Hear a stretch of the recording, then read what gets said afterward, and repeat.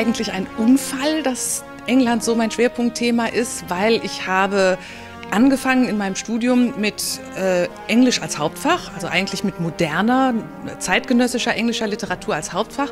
Und da wurde ich gezwungen, englische Medievistik, also die mittelalterliche englische Sprache und Literatur, als erstes Nebenfach zu studieren. Und ich bin da also ganz schicksalergeben in die erste Einführungsveranstaltung gegangen und das hat mich von der ersten Sekunde an so gepackt, dass ich das bei der ersten sich bietenden Gelegenheit umgedreht habe und habe die englische Medievistik zu meinem Hauptfach gemacht. Das heißt, als ich dann anfing, historische Romane zu schreiben, war England das, wo ich mich am besten auskannte und wo ich schon am meisten drüber wusste. Und dann war es einfach naheliegend, darüber auch zu schreiben. Also es gibt ganz viele kritische Leserinnen und Leser und Hörerinnen und Hörer, die ganz genau aufpassen und wenn ihnen irgendwas vielleicht ein bisschen unglaubwürdig erscheint oder unwahrscheinlich, die das auch nachrecherchieren und darüber gibt es auch oft einen ziemlich regen Austausch. Irgendwo in einem meiner Romane kommt eine Kastanie vor im 14. Jahrhundert. Und da hat mir dann eine Dame geschrieben, dass die Kastanie wohl erst im 16. Jahrhundert aus Indien gekommen ist. Ja, gut, okay. Hätte ich mal Buche geschrieben. es gibt Augenblicke, wo ich mir wünsche, ich könnte mal wieder über ganz normale Leute schreiben, die solche Dinge tun wie Autofahren und Kaffee trinken und Strom aus der Steckdose bekommen. Es ist äh, schon manchmal ein bisschen mühsam, wenn man jedes kleine Alltagsdetail recherchieren muss und sich auch immer wieder in diese völlig fremden Psychen reinfühlen und reinwühlen muss. Da kommt dann schon manchmal so für so ein paar Sekunden die Sehnsucht, ach, ich möchte mal wieder einen Krimi schreiben, der, der in der Gegenwart spielt. Aber das ist auch ganz schnell dann immer wieder vorbei, weil meine eigene Faszination mit dem Mittelalter oder mit der Vergangenheit überhaupt eigentlich immer noch weiter zunimmt, je mehr ich mich damit beschäftige.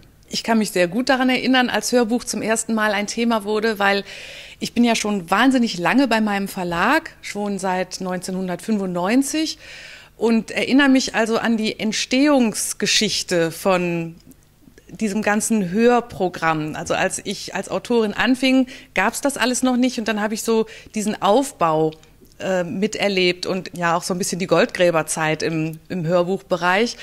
Und ich habe mir immer gewünscht, dass auch von meinem, einem meiner Bücher mal ein Hörbuch gemacht würde. Und als es dann irgendwann soweit war und äh, ja, der Verlag gesagt hat, jetzt machen wir auch mal ein Hörbuch und das war dann auch gleich eine inszenierte Lesung mit einer eigens komponierten Musik, da war ich ähm, hin und weg. Also ich habe immer gerne schon ach, als Kind schon Hörspielschallplatten gehört und war also eigentlich immer schon so ein Audio-Freak und da habe ich mich sehr gefreut. Ich war von der ersten Sekunde an begeistert von Detlef Bierstedt. Ich habe ihn auch selber mit ausgesucht und ähm, habe ihn nicht ausgesucht, weil er die Synchronstimme von George Clooney ist, sondern ich habe halt von, von verschiedenen Leuten Hörproben bekommen und habe gedacht, ja, das könnte genau der richtige Mann für meine Art von, von Romanen sein. Und das hat sich absolut bestätigt und bewährt. Ich finde, dass er wirklich eine außergewöhnliche Gabe hat, Figuren eine eigene Stimme zu verleihen ohne das zu dick aufzutragen. Die Musik spielt eine besondere Rolle bei, ganz besonders bei der Warringham-Reihe, weil es ja auch ein musikalisches Warringham-Motiv gibt. Vom ersten Hörbuch an, vom Lächeln der Fortuna an, das immer wieder in Variation in den Hörbüchern wieder auftaucht.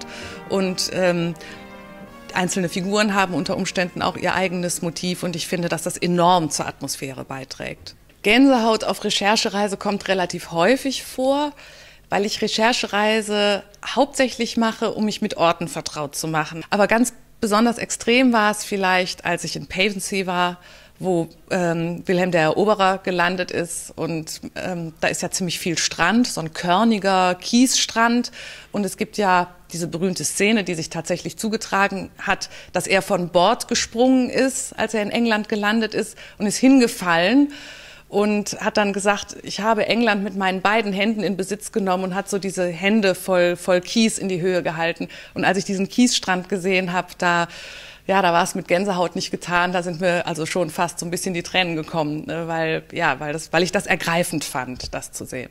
Kürzungen sind natürlich ein problematisches Thema für Autoren, ist klar. Äh, wir haben uns ja jedes Wort mühsam abgerungen. Dann hat man das ja nicht so gern, wenn 50 Prozent oder so wieder rausfliegen.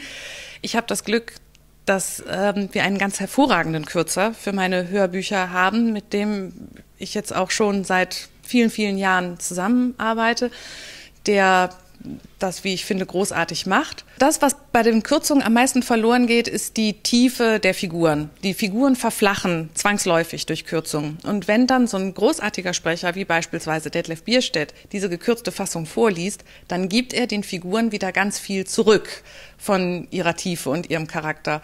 Und äh, ja, das finde ich fantastisch.